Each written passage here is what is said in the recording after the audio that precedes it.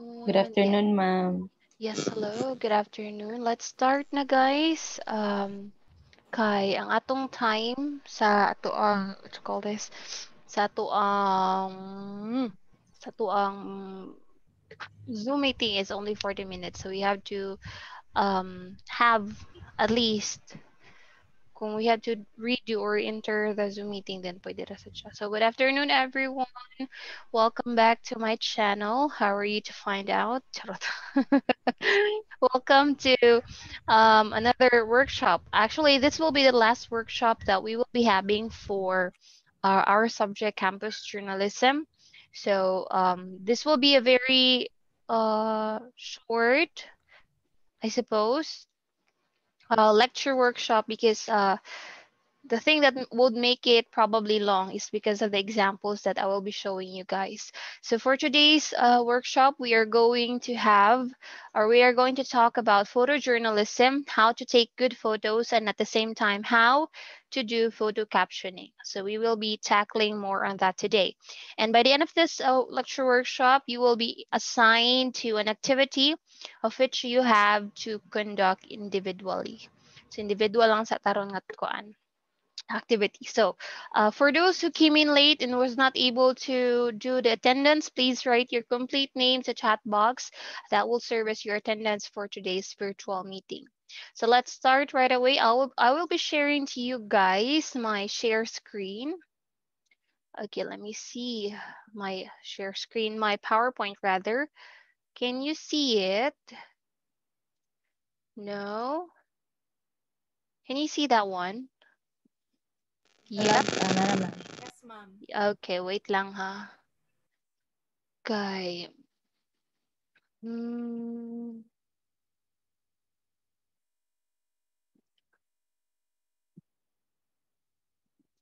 Okay, so let me try to go over this one right here. Just lang kagalog siya. Okay, so again, today we're going to have photojournalism workshop and, and, and, wait lang sabi.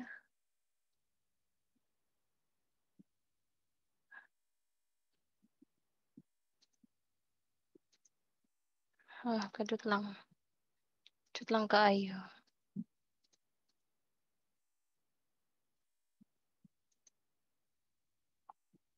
Something wrong with my ano.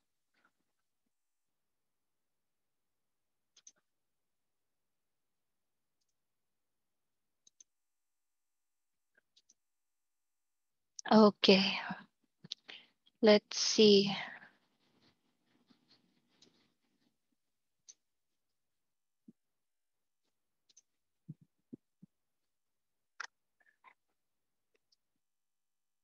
Let me go back.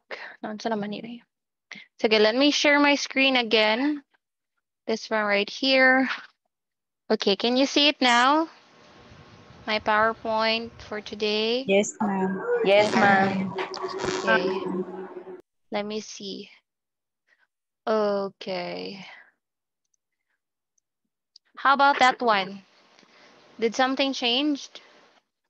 Yes, ma'am. Yes, ma'am. Yes, ma'am. What happened? Is it on, on uh, presenter's view? Yes? Yes, no? Sige, Yes, ma'am. Let's Yes, go ma'am. back. Pasensya kay nag nag nagtinigo lang inyong maestra. Ano siya kabaloon sa buhaton. Sige, let's go back here.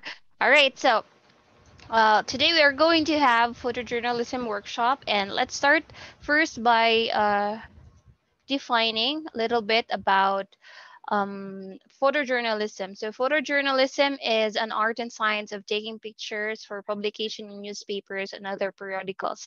So it's somewhat similar to uh, basic or regular photography, only that it has its purpose. It should be able to further elaborate or tell more about the story that is being written in an article or in a publication. So uh, it's about capturing the human experience and making your own art, not just capturing the creations of others. So it's trying to look at good, bad, and the ugly. So it's also about communicating with pictures. Okay, so if you see uh, in these examples, please take a look in the examples photos rather, please take a look at the captions below each, uh, like this one, uh, trail, what's that? Trail going to the summit of Mount Pulag because that will be very helpful later on in the photo captioning part of our uh, lecture workshop. Okay, and that, then we have um, photojournalism as reporting of a wide range of subjects and events of public interest, usually for newspapers, magazine, and through photographs. So uh, it's not necessarily, or photojournalism does not solely solely rely on news articles, but it could also be a travel travel news, travel article, feature article, sports article, etc. Okay. So this example picture right here is raft riding going to Ambon, Ambon Falls, Pangil River. And then we also have here another example. Okay, it's about human interest. And we have here classification of photos. So the first kind of photography is about news photography to record the external world as it appears. Like for example, in this picture, in this example, this is from the Burnham Park in Baguio City. Uh, taken last 2012. So it pro it's probably about uh, how uh, tourists flock the area during, uh, it's probably summer because um, although it's sunny there, it's probably cold because of the weather in Baguio. So that's probably a news photography. Then we have documentary photography, which is used for expressive interpretative purpose, as in this one right here. Like how are they uh, documenting the tuna tuna industry in GenSan City or General Santos City, Pierre. And we also have here commercial photography, which is used to advertise. Like for example, this one right here.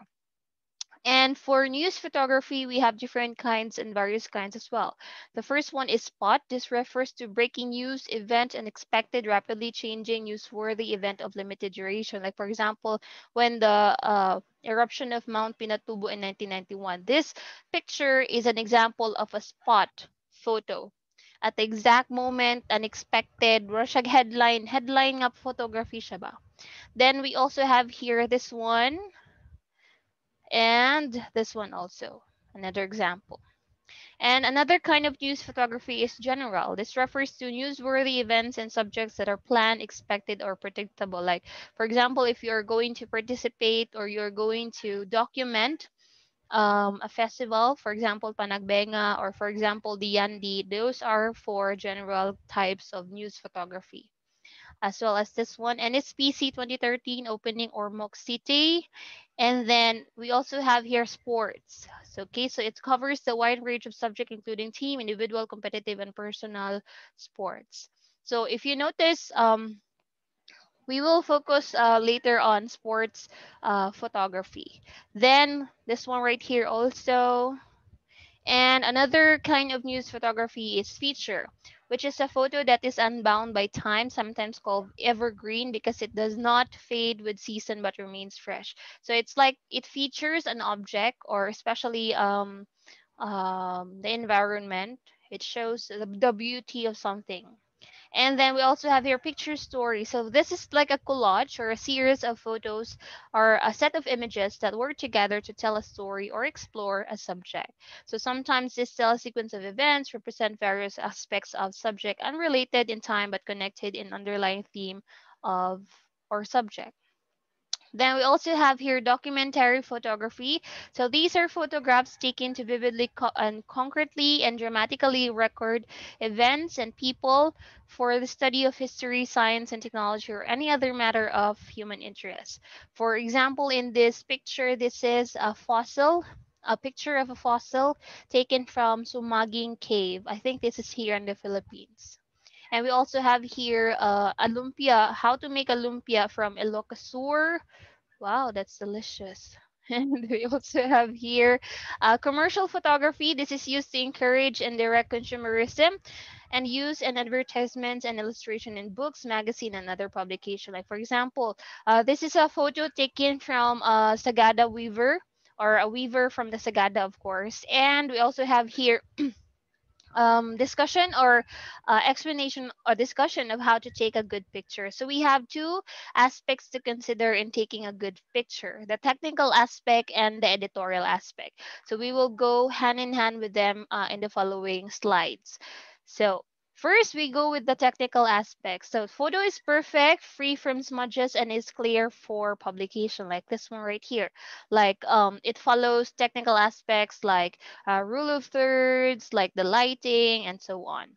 And aperture control. So this is for um, in case you are have you have a DSLR or a uh, high edge camera. Uh, this one is should be for another for another specific and focused topic. But for now, since we are on the 21st century, we are bound or we are actually able to take pictures using just our mobile phones or anything that captures um, a picture aside from DSLR or high edge cameras. We also have here a discussion of shutter speed. So this affects how blurry, how blurry a picture could be. So this one's as I mentioned, for another specific, if you want to pursue photojournalism or photography, then you should be able to uh, know this basic stuff. And depth of uh, depth of field means to say how an object is um kanang ang illustration niya ba is layo siya or near in the uh in the in the picture or in the center of the picture. Like for example, in picture number one here, the center or the subject of the photo is blurry, while the the background one, the background, the picture in the background is the one that is most likely um, highlighted because of this aperture and depth field settings in their camera.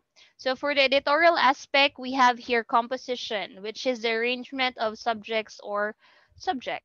So uh, in instances like spot, um, spot photography, this would probably not be achievable all the time. But for, for example, a commercial and for general photography, then you will definitely can do composition or can control the composition of the subject or the object in your um, photo or your photograph. We also have here this one. And there are three kinds of angles of view uh, in taking a photo. So to achieve composition, consider the following. So we have here kanang gikan siya sa taas, that's bird's eye view, kanang sa ubos, worm's eye view, or worm's view, eye view na siya for some. And then we have here, of course, the normal view, kaning third na picture. So this is an example of bird's view. So if you want to take picture of katong mga koi fish dara sa kanal sa may mall, this is probably the most fitting uh, view, angles view that you are going to take. Bird's view or bird's eye view. Normal view mean to say, um, ang imuhang uh, tawag ni, ang height sa imuhang camera ug sa imuhang subject are the same height. And we also have your worm's eye view. For example, kanang mga hilig-hilig ug mga picture sa taas-taas, hangad-hangad. Okay. Then we also have here um, considerations to achieve composition. So there are three subject distances. Uh, first is long shot. Uh, kaning 15 feet ang away ang subject. Medium shot kanang uh, okay, okay lang siya. Kanang murag half of the body is seen and then close-up shot, of course, um, that is a shoulder up. So you have to remember that long shot means whole body. Medium shot is from waist up and then uh, close-up shot is from shoulder or neck upwards. So that's the kind of uh, distances that you can consider with your subject. For example, this one, Bati kayo ang header, no? So, long shot na siya, guys. Long shot. okay, so this is a photo of Anglican Church, Sagada Mount Province. So it means to say that you can see the whole church, okay, the whole uh, structure of the church or the subject of your photo. Then we have here a medium shot, which is um, although it they can you can see the whole body of the subjects it's it's kanang it it's taken into consideration that they did not included the whole layout of the church inside. And then close up shot, of course, this one or kanang one by one or kanang selfie. Those are examples of close-up shots. And then we have here for another editorial aspect, lighting. Lighting is very important, especially if mag-selfie ka. So we know about that, especially when we take selfies. Lighting, uh, it's much, it's uh, it's much more effective to use lighting to highlight the subject. Okay. And then this one right here too. So the subject probably of this picture is the um kanang lamps that's made of uh, wood and I think that's made of bamboos as well. Another is exposure. So exposure refers to the kanabitong kahaya dili siya dili, dili siya lighting. Exposure kanang uh, kanang kahayag sa overall nga kuan ba nga picture. Like for example, this one, this is not too uh exposed or wala ka siya exposure and at the same time this one kanang uh, na, na highlight ang ang colors overall picture because of the lighting. And then other important composition rules, there should be one center of interest, and that is the subject of your photograph. Avoid always locating the center of interest at the center. So for example, please avo avoid taking pictures like this. Ta-da! Okay, because you're like, monish na guys. Kita nyo guys? This is the ano, ano, something like that. So um, if you want to be included in um in a picture showing a scenery or showing something, then you should be included as a subject of the photo. And you should also be the center and not necessarily pointing to the center of the interest in your photo. Like this one here. And action should move into the picture, not out of it. So uh, if you want to have action in your photograph, like in this example, it should be that the action is moving towards the picture, not going outwards.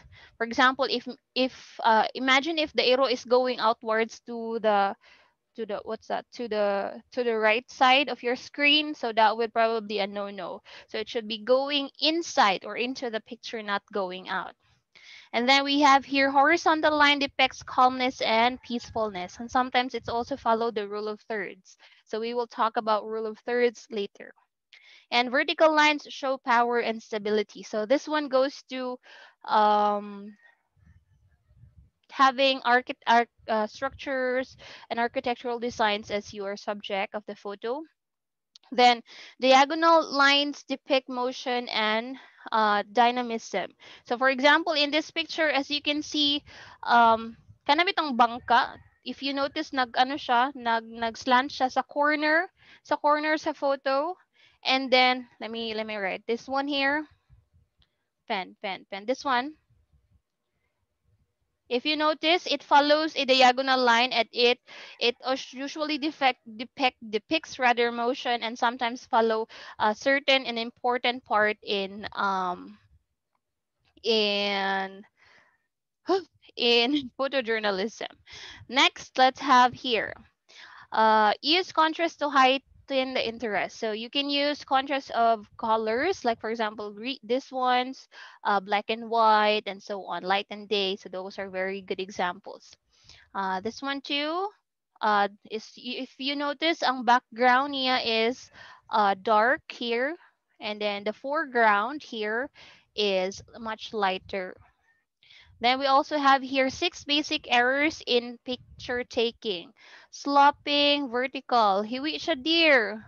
Pakiayos ko, ano siya. No? So we have to avoid strong vertical lines because they call for careful framing so that they remain parallel to the edges of the frame and thus appear to be upright. So supposedly, dari na siya, ana.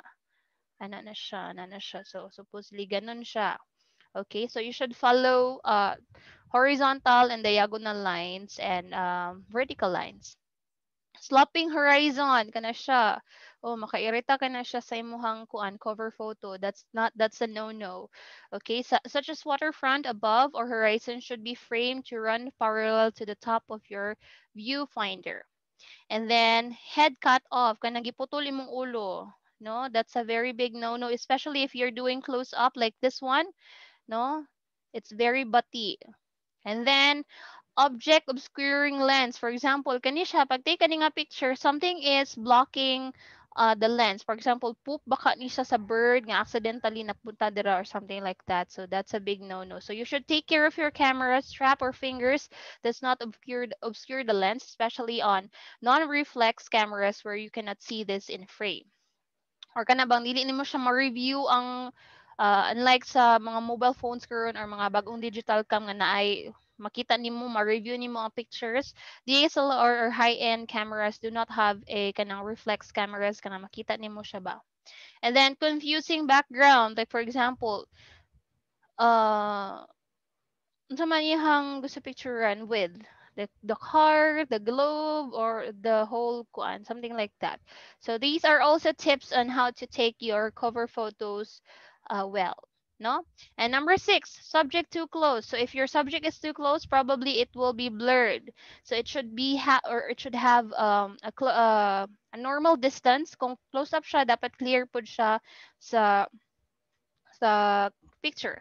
So with a fixed focus camera, especially if you have a fixed focus camera, do not take subjects closer than the minimum focus distance, about six feet or two meters. Then we have other ways to take better, better pho photographs. We have natural frames like this one here. This one is a good example. Uh, this one too. Right here, you can see a very natural frame right there. This one too. This follows a diagonal line right here. If you notice, no and then the frame of course this one and then we have here create balance and harmony like this one. Uh half of the most half of the pictures are land based and the other one is an ocean blue and sky. So those are very good examples of balance and harmony. Okay then we have here shulik shulik mom. We also have here uh, this one too. Okay this shows um you know uh, the regular things that campers do and then there is a frame here of green things or yeah. And then we also have here use shadows of subjects like this one. And then um photo photograph interior as in this one. This is uh, if you remember this is from worm's eye view. Expose for happy colors like this one. So high exposure means mas malay mo brighten ang colors sa imuhang subjects or sa imuhang um, picture. Like this one too, here.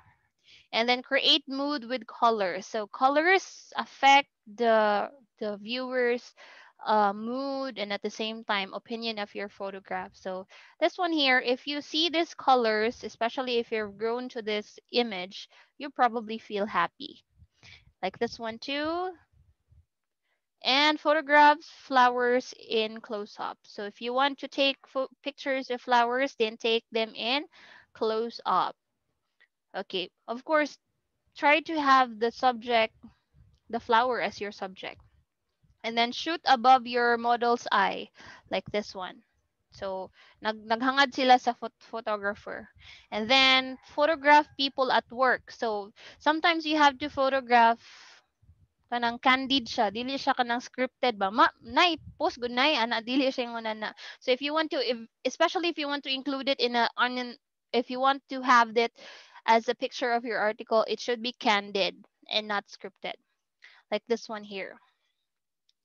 And shoot this one. Shoot candid portraits photograph from natural form, like this one here. Use the sky as a background. Okay, this one is very important, especially if uh, you have contrasting colors with uh, the subject and the background, which is the sky, that's very perfect. Like this one too. Look for patterns. So if, especially if you're a very kanang uh, photographer or you're fond of photography, and you want patterns, you you're gonna OC ka sa tanan din, patterns would very be much perfect for you. Like this one here, there's patterns, this one too, this one, and so on. Like this one too. Focus on architectural designs. Okay, so focus on the intricate details of the architectural design, not really the uh, not really the specific uh, kung sa flowers, you have to focus on the flowers. Here in architectural design, focus on the details of the overall structure. This one here, and look for different angles. So it's either you go bird's eye view or worm's eye view, whatever or whichever um, angle view is perfect for that scene. Like example, this one, sea urchin picker, Samal Island, Davao del Norte. And this one, this is worm's eye view. And here, shoot evocative details like this one. And this one too.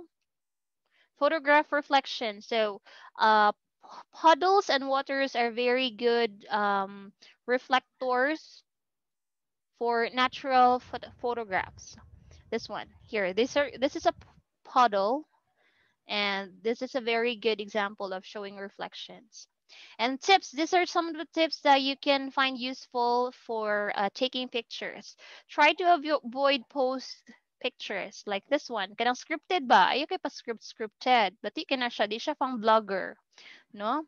Then, try to capture emotions. Kanang candid emotions. And then, get faces, not backs, ladies and gentlemen. So if you want, especially if you're um, uh, taking pictures of events, then please do try to uh, include faces as well. And then who is the star of the picture? Show as much as possible the subject of your, um, highlight the subject as the center of interest of your photograph. Get up close, like in this one. If you see that the background is not really that important or unnecessary, then focus and close up, such as this one. And let your pictures tell a story. That's the very most important thing especially if you are looking for uh, for an article to write and the first thing that you want to do is find a good picture first then probably you might want to choose a, picture or capture a, a scene that tells a story let your pictures tell a story like this one here use different angle levels and for inanimate objects, this tends to be boring and always try to include people. So no pictures of building or cars. Don't just photograph a sculpture. Photograph someone looking at the sculpture with an impressive look at his or her face. Especially if you're not actually doing a feature photograph. That's a very important to include people in the background. Like this one here. Uh, like duh. So, but this one here is much more interesting. Okay, if you compare this one, this one much me what uh this one would probably the second one would probably tell a story better than the other. And then don't crowd a picture. Don't show too many subjects or too many center of attraction. If you want to show one one tree with a light, then show one tree with a light. And action is exciting, but blurry is not. So if it's not it's not it's not avoidable to take pictures like this. But probably try as much as possible if you're especially if you're taking pictures of sports, then please aim at having action but not make it blurry enough.